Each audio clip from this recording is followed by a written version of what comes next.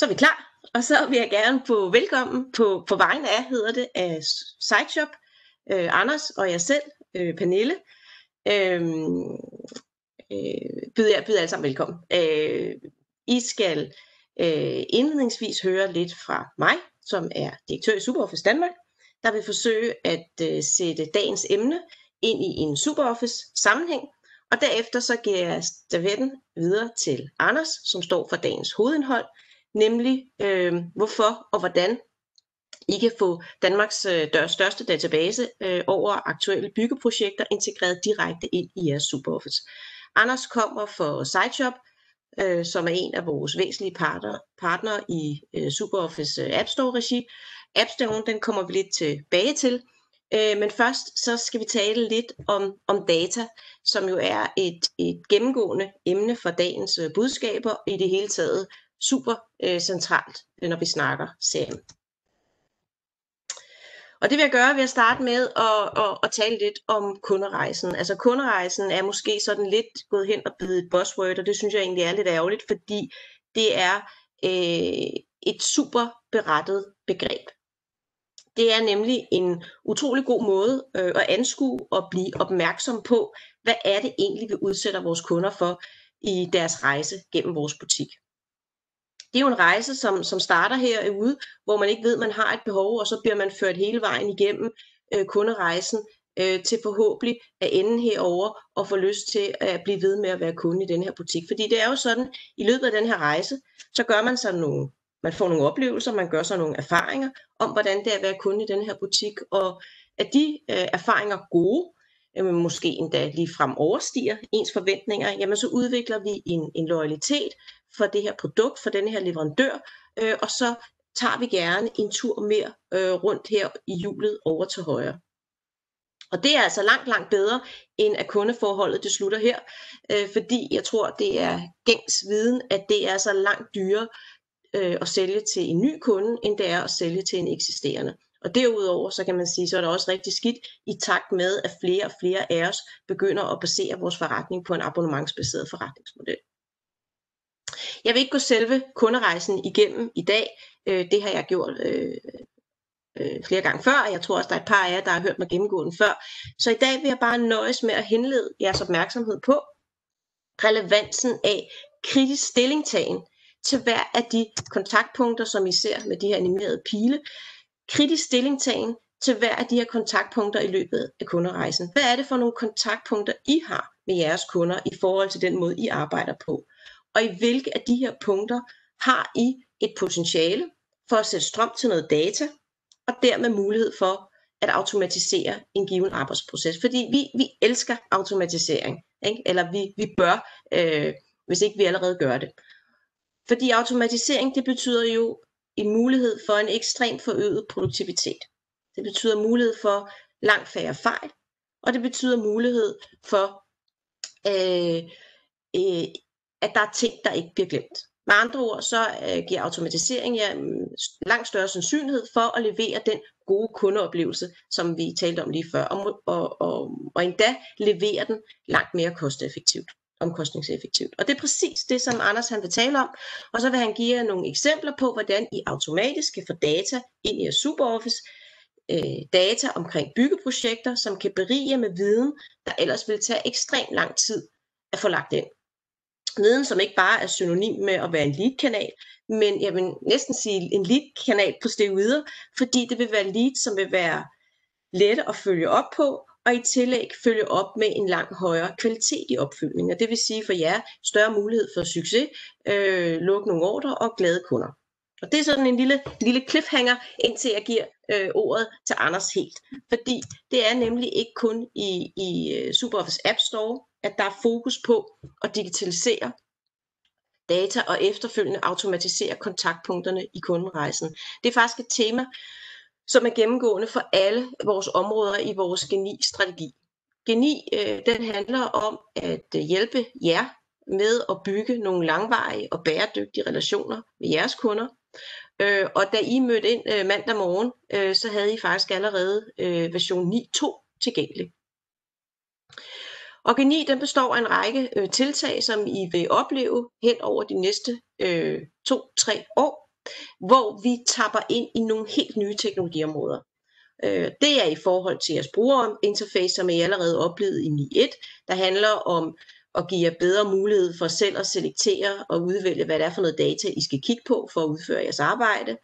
Det er helt ny, konkret øh, forbedret funktionalitet i en række områder. Det er marketingsautomatisering med henblik på en langt mere målrettet og effektiv markedsføring.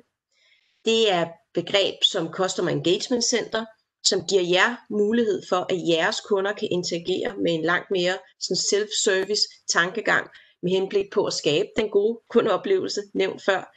Det er AI as a service, som øh, kommer til at berige SuperOffice, SuperOffice med nogle værktøjer, som gør, at I kan give jeres kunder nogle endnu bedre kundeoplevelser. For eksempel, det kunne være i form af en langt bedre supporthåndtering, tickethåndtering, fordi I med AI bliver bedre til at kategorisere ticket, øh, de tickets, der kommer ind i de rigtige køer. Øhm, så handler det om Cloud Office Collaboration. Øhm, øh, verden har ligesom taget skyen til sig, øh, og derfor bliver vi selvfølgelig nødt til at tilsikre, at de andre øh, arbejdsværktøjer, som I anvender i jeres hverdag, at dem kan vi integrere øh, let med, og i med den her zero footprint tankegang, og det vil sige, at der ikke er nogen øh, programmer, der skal ned og ligge lokalt på nogle af jeres enheder. Og så er der App Store, øh, og det er i den, I finder den app, som vi skal tale om i dag.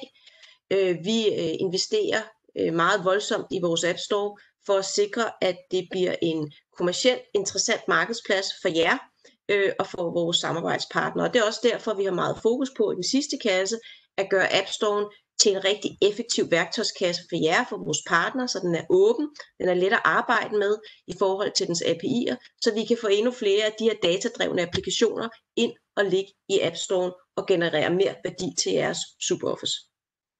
Så det var nok for mig. Nu vil jeg overgive det passen til Anders, som ved meget mere om App Store og hvordan det er at arbejde med den. Øh, og, øh, og i mellemtiden så vil øh, Gitte, øh, som sidder med teknikken, overdrage det passen videre til Anders. Så over til dig. Mange tak for det, Pernille. Og jeg skal lige have tændt for min skærm her. Sådan der. Jamen, mange tak for det. Og øh, ja, jeg hedder jo øh, Anders, og jeg har fået lov til at vise jer, hvordan I kan øge jeres chancer for salg ganske enkelt ved at øh, benytte projektdatabasen Factnet Live i en øh, tæt sammenhæng med SuperOffice. Og det, netop det er jo, er jo muligt, som, øh, som Pernille også nævnte, med den app, vi har liggende op i SuperOffice App Store, som hedder BygFactor Live. Og øh, lad os simpelthen bare kaste os ud i det. Lad os starte med lige at se på, hvem Bygfakta er. Og Bygfakta vil det så godt de vil gerne have, at vi bygger vores forretning på øh, viden og data i stedet for gætterier. Så øh, Bygfakta, som er en, en, en dansk virksomhed, der opererer i hele Norden, de tilbyder øh, deres kunder en masse viden og en masse data om aktuelle projekter i hele byggebranchen. Og det er viden og data, de løbende indhenter og interviewer øh, hver evig eneste uge og opdaterer ind i databasen.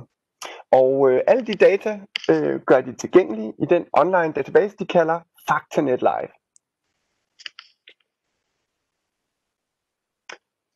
Faktanet Live er, øh, som, de, øh, som de også siger her, den mest øh, detaljerede projektdatabase, og det kan jeg da skrive under på. Med et øh, login til Faktanet Live, der får man ganske enkelt adgang til en imponerende mængde af oplysninger om, øh, om de aktive byggeprojekter fra hele Norden. Og øh, det drejer sig om øh, offentlige udbud, licitationer, private øh, byggeprojekter.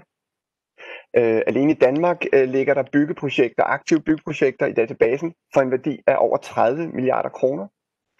Øh, data er, som, som vi lige var inde på, altid opdateret, så det er en levende database.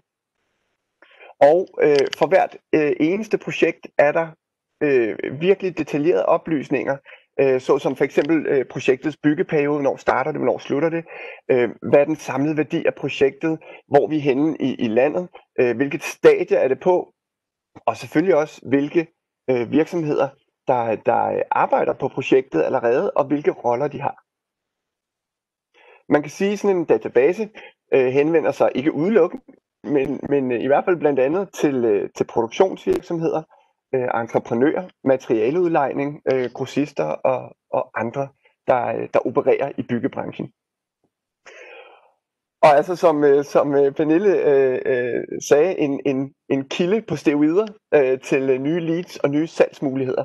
Det kan man vist øh, roligt kalde den her øh, Factnet Live database.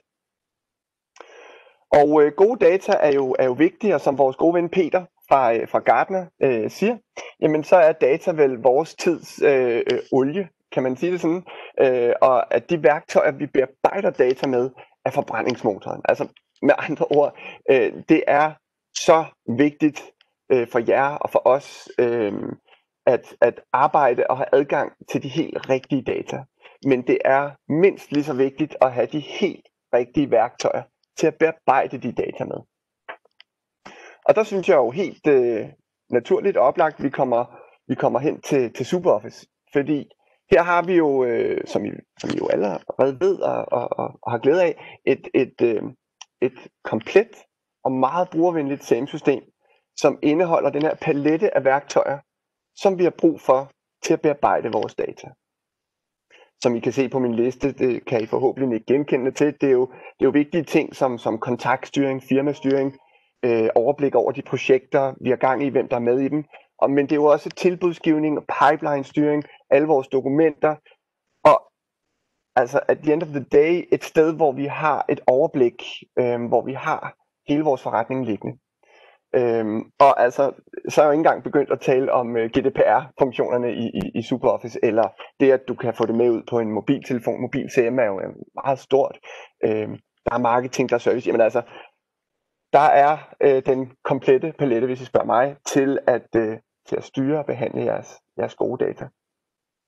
Øhm, og ikke mindst er der jo den her dejlige App Store, hvor vi jo øh, befinder os rigtig godt, hvor I kan finde alle vores øh, apps, vi har lavet her hos øh, SideShop, øh, men herunder øh, vores kobling til Factornet Live, øh, og lad os, lad os kigge lidt på det. Og lad os kigge lidt på, hvordan i virkeligheden vi får de her meget værdiskabende projektoplysninger, hvordan vi får dem ind øh, i SuperOffice, øh, så vi kan, vi kan bruge vores værktøjer, vores arbejdsgange. Og øh, hvis vi lige går videre til næste, der var den, sådan der. Lad os bare lige få øh, de her øh, nøglefunktioner i, i appen. Appen hedder Byg Factor Live, og man øh, finder den inde på App Store eller på vores hjemmeside, eller det, det kommer vi til til sidst. Den er nem at finde i hvert fald. Og øh, hvis vi kigger på de helt, øh, helt vigtige nøglefunktioner, så er det jo helt oplagt, det er muligt at logge ind i sin Faktornet Live, vælge de byggeprojekter, man vil arbejde med, og så få dem lagt automatisk ind i SuperOffice. Så undgå manuelle arbejdsgange, undgå copy-paste, øh, få alle de vigtige felter med hver gang I opretter et nyt projekt. Øhm, og som noget nyt i, i, i den her nye udgave, vi, har, vi netop har, har lanceret, så kan man faktisk, når man får sat den her app op, vælge, om de her byggeprojekter skal ligge som et projekt inde i SuperOffice, eller om man vil have, at det kommer ind og ligger som et salg i SuperOffice. Det kan afhænge lidt af, hvordan I, I arbejder med de her data, og hvordan I vil arbejde med dem. Og øh, som jeg berørte øh, kort, men som er meget, meget vigtigt, for hvert projekt, vi får lagt ind i SuperOffice, får vi altså en vifte af detaljer, såsom ja, byggeperioden, stadiet, typen, Øhm, øh, øh, stadierne, ja, det sagde jeg. Øh, øh, de her detaljer, der gør, at vi kan bearbejde dem rigtig godt ind i SuperOffice. Så vi kan lave de her udvalg baseret på de mere sidefelter, vi får oprettet. Så alle detaljerne om hvert projekt bliver lagt ind på, øh, på mere siden, øh, og I kan få de felter ind, som, øh, som I nu ønsker. Øhm, og så er det jo sådan, at for hvert projekt, man lægger ind, jamen så kan man, øh, når man går ind og finder det frem i SuperOffice, så kan man simpelthen også få vist, hvilke firmaer øh, er tilknyttet projektet og er i gang med at arbejde på det, og man kan se, hvilke roller de har. Og så kan man simpelthen vælge, hvem af dem man vil arbejde med i SuperOffice. Og øh, der er jo stor chance for, at, at, øh, at de findes i en SuperOffice i forvejen. Øhm, så der er sådan en rigtig fin måde, hvor den lige matcher på, findes den her øh, virksomhed i forvejen? Ja, det gjorde den. Fint, så knytter vi den til den, i stedet for at oprette den som en, øh, som en ny dublet. Eller som en ny virksomhed selvfølgelig. Godt. Øh, og når vi har det her projekt inde, når vi har firmaerne inde, så er det meget, meget nemt at starte en ny øh, salgsmulighed op, altså et nyt salg i SuperOffice. Og med auto-update-funktionen sikrer vi os, at når der sker ændringer ude i Faktanet Live, når der er øh, en, en, en opdateret projekt, eller datorerne rykker sig, eller hvad det kan være, jamen så bliver det automatisk opdateret ind på, øh, på projektet i SuperOffice. Det er, øh, det er nøglefunktioner, og jeg tænker simpelthen, at vi, øh, vi logger ind i SuperOffice, og lige laver et, et rigtig godt eksempel, hvor, vi, øh, hvor, vi, hvor jeg finder et, øh, et projekt eller to, øh, som vi gerne vil arbejde med i SuperOffice, så lægger vi det ind, og så øh, bearbejder vi det lidt, og så, så burde de øh, kunne se her meget nemt, hvor, hvor nemt og, og, og værdifuldt det er. Godt. Vi logger ind i SuperOffice, og øh, jeg skal lige se her, jeg har laserpennen klar her. Øh, jeg har lavet en lille genvej ned til venstre til Faktanet Live. Den klikker vi på. Bum, så er vi logget ind i Faktanet Live. Der er nogle af jer, der kender Faktanet Live i forvejen, og dem, der ikke gør, så kan jeg jo bare kort beskrive, at det er herinde, du får et, øh, man logger ind, man får et overblik over de øh, aktuelle og relevante projekter, der er vigtige for mig. Og jeg kan ellers, hvis jeg vil, op til venstre søge på projekter. Jeg kan søge på Femern eller Storebælts, Lillebælts renovering, hvad det nu er. Øh, jeg kan sætte nogle flere kriterier hernede. Men ellers har jeg her midt i billedet en, øh, en øh, emneliste med de projekter, jeg vil arbejde på. Og der kan I se her, jeg vil gerne arbejde på Metro Sydhavn, og så vil jeg gerne arbejde lidt på Vridesløse Lille Fængsel. Øhm, der, skal, der skal ordnes lidt sikkerhed der, tror jeg. Øhm, så jeg sætter hak i dem, flueben, bum bum, og så ud til venstre kan jeg sige indsæt valgt projekt i min mappe. Og når jeg gør det, så tager Faktanet Live, overfører dataene til os, eller vi trækker dem fra Faktanet Live, og så lægger vi dem ind i Super. Så lad os endelig klikke der, og så kommer vi tilbage ind i SuperOffice. Lækkert. Jamen, øh, som I kan se her, øh, hvis jeg øh, ud, trykker ud på projekt til venstre og, og lige søger på Metro, så kan I se, at den allerede er oprettet. Det skal lige siges, for at være helt fair, det kan tage et minut eller to. Det er klart, hvis I gerne vil importere 100 projekter, jamen så skal den bruge lidt mere tid på det. Men det går ret stærkt, og øh, jeg vil i hvert fald gerne se at prøve at, at lægge det ind manuelt øh, som sammenligning. Godt, så vi søger et projekt frem, og hvis vi, mens vi lige er her, så kan vi jo udnytte den her nye lækre funktion i øh, SuperOffice G9, at vi altså kan få vist øh, sidepanelet her i fuld højde. Og øh, det har jeg valgt at gøre. Jeg har valgt at, at få vist et udvalg, jeg har liggende, der samler alle de nye projekter op, jeg får lagt ind for Faktanet Live. Det kan simpelthen ikke være nemmere. Og der kan I se, der er projektet klar til mig herinde. Godt, så enten dobbeltklikker her, eller vælger det øh, over til venstre. Og øh, så kan vi se til stor øh, glæde her, at projektet er blevet oprettet af sig selv.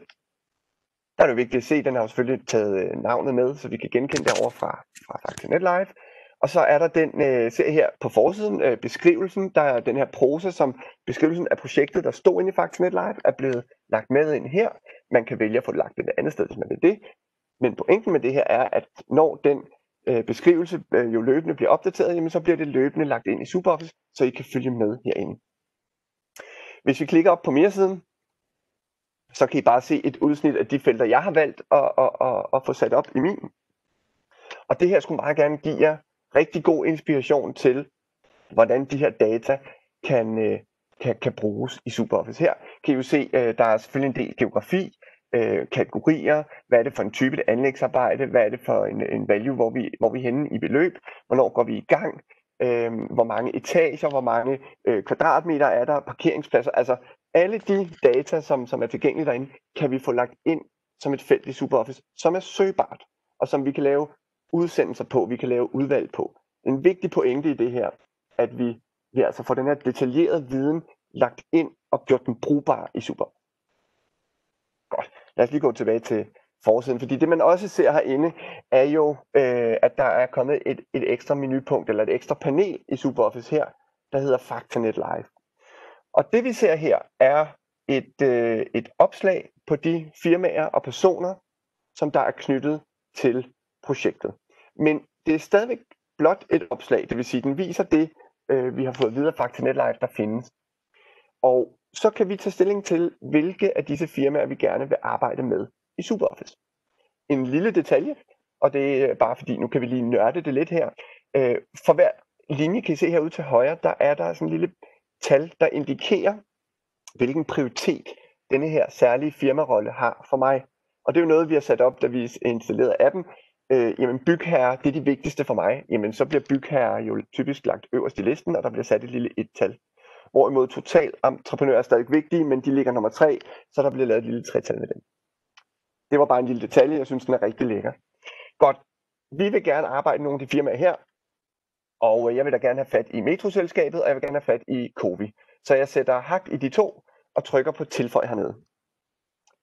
Godt. Metroselskabet, jamen der lavede den lige et tjek først, og, og, og, og, og sikrede sig i SuperOffice, om det fandtes, og det gjorde den ikke.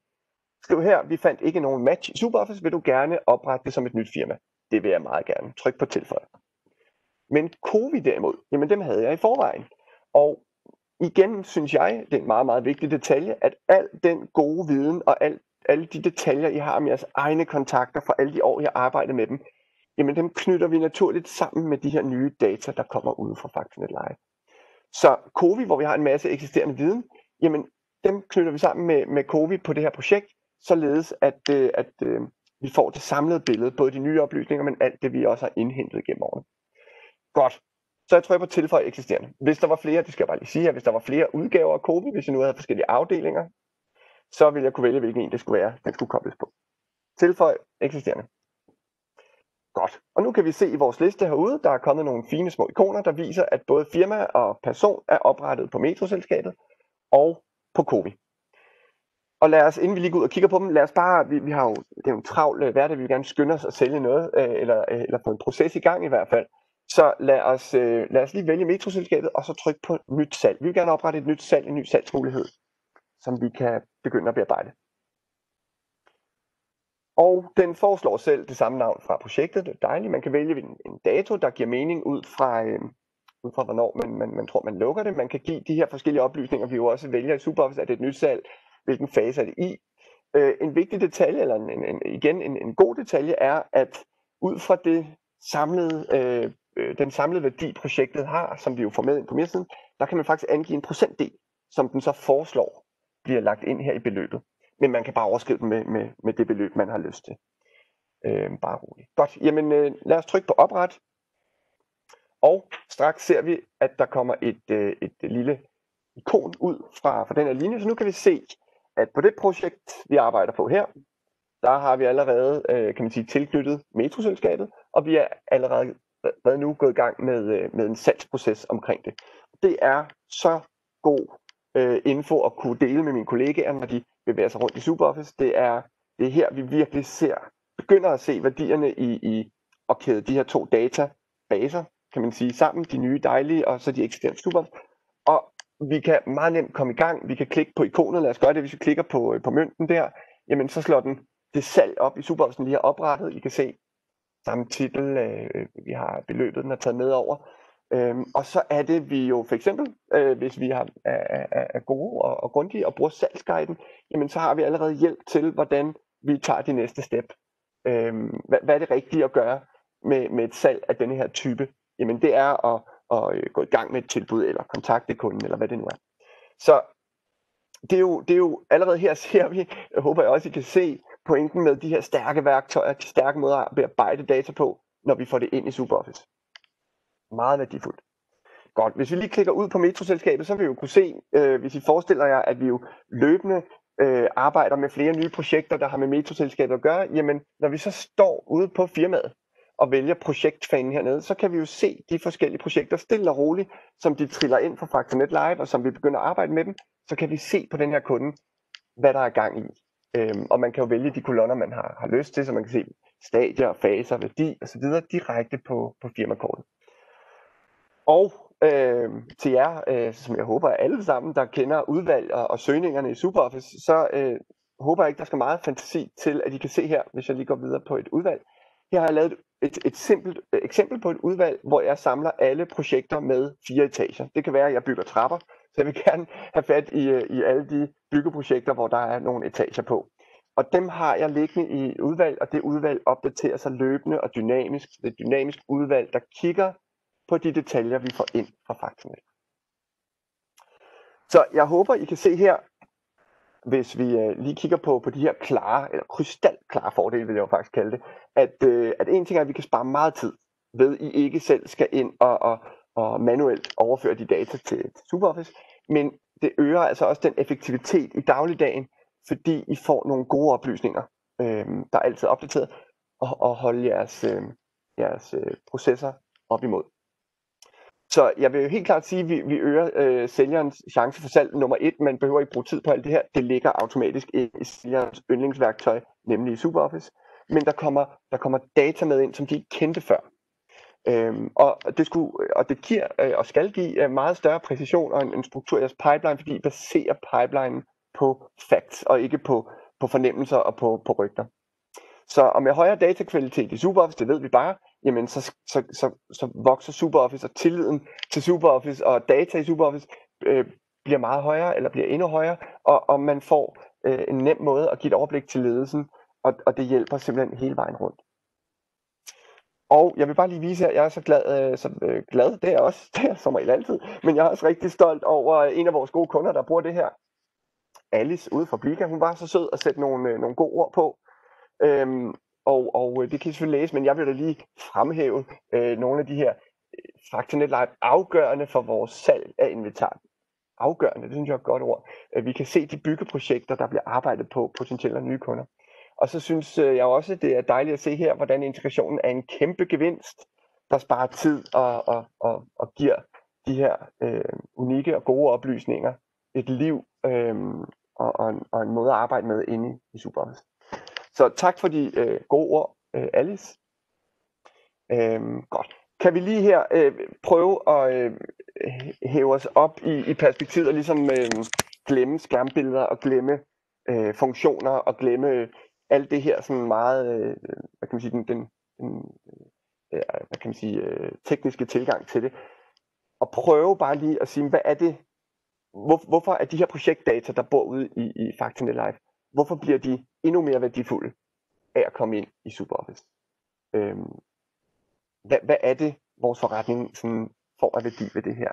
Og, og den helt oplagte, synes jeg jo, er, altså udover tidsbesparelserne, så synes jeg, at den helt oplagte er, at vi bringer noget, noget ny viden ind lige for fingrene af, af sælgerens øh, CRM-system. Vi gør sælgerne klogere og giver dem mulighed for at, at tage nogle bedre beslutninger og, og, øh, og styre dialogen med, med kunderne på en anden måde. Jeg synes, det er helt oplagt, når man sidder og kigger på et nyt byggeprojekt. Det var interessant. Dem skal vi arbejde med. Ind i Superhouse med det. Gud, vi er jo allerede i gang. Henrik og Torben øh, eller Annette er i gang med at sælge noget ind hos dem. Godt. Så i stedet for at jeg bare ringer til dem, så lad os lige snakke om, hvordan vi, hvordan vi øh, tager dialogen med kunden på den rigtige måde. Så den her nye viden, der kommer ind i, i redskabet, det synes jeg er super, super værdifuldt, og det synes jeg ikke bare, det er værdifuldt. I kan selv spørge alle. Øhm, og så, ja, det her med, at vi kombinerer ny viden med vores historik i SuperOffice. Øh, kundehistorik, aktiviteter, møder, øh, kampagner, vi har kørt med kunderne, kan vi pludselig koble på, på de her nye oplysninger. Og så øh, vil jeg bare understrege igen den her palette af, af stærke værktøjer, man får inde i SuperOffice, der gør det nemmere for jer at udføre jeres daglige forretningsgange, øh, eller arbejdsgange, eller jeres, jeres daglige ting, I, I skal igennem. Øh, det, er, det er simpelthen essentielt øh, og vigtigt for at spare tid og bruge det på det rigtige. Så øh, sammen med SuperOffice, sammen med, med, med vores app, sammen med de data fra, fra Faktanet Live, så synes vi virkelig, at vi styrker øh, jeres relationer, øh, og vi, vi, vi kan fokusere den indsats, I skal gøre, øh, og dermed øge jeres salg. Og jeg vil simpelthen så gerne hjælpe jer i gang med det her. Øhm, og hvis vi lige kigger på, øh, på, på priserne her, øh, de starter fra, fra 740 kroner om måneden. Det er sådan en site-licens. Og det afhænger lidt af, hvor mange er SuperOffice. Men altså fra 740 kroner om måneden, så har vi et opsætningsgebyr på, øh, på 5.000 kroner. Det er øh, vigtigt lige at sige, at øh, I skal have et abonnement til Faktornet Live, øh, og der skal lige være sat hak i den her eksportmappe inde på det abonnement. Så de 740 er ikke inklusiv øh, abonnementet til Faktornet Live. Det er noget, I skal tage direkte med Bygfakta, men I må meget gerne kontakte os, så skal vi nok hjælpe jer med at øh, få den dialog, hvis I ikke allerede har den. Og det var ordene, Pernille, herfra. Ja, jamen øh, tak for ordene, Anders. De var velvalgte. Øh, jeg håber, at øh, I alle sammen har øh, fået noget øh, ud af, af de sidste, øh, den sidste gode halve times tid. Øhm, og jeg håber ikke, at, øh, at jeg lovede for meget øh, i min indledning, da jeg sagde, at øh, jeg synes Faktornet Live på mange måder er en elitgenererende kanal på stive yder. Jeg synes, der kommer rigtig mange gode eksempler, Anders, på, øh, hvordan man får beriget den data og giver sikkert mulighed for at arbejde på en langt mere målrettet måde øh, med henblik på et forøget salg. Så tak for det. Øh, til gengæld øh, indsned en lille fortalelse i min indledning. Jeg sagde, at alle i mandags fik adgang til mm, 9.2. Det er øh, sådan set stadigvæk 9.1. Øh, 9.2 er i disse dage ved at blive rullet ud. Nogle af vores online-kunder har allerede fået adgang til den, og alle, øh, også jer, øh, får meget, meget snart øh, adgang til den. Det vi snakker inden for de næste 1-2 uger, øh, kommer den til en super office nær jer. Så, så stay tuned.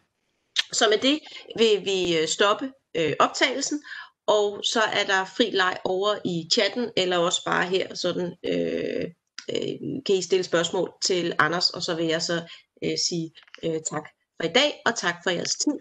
Husk, at øh, I kan gense det, og det vil være super fedt, hvis I gad at evaluere, så vi øh, hele tiden kan forbedre indholdet og afviklingen af de her webinarer.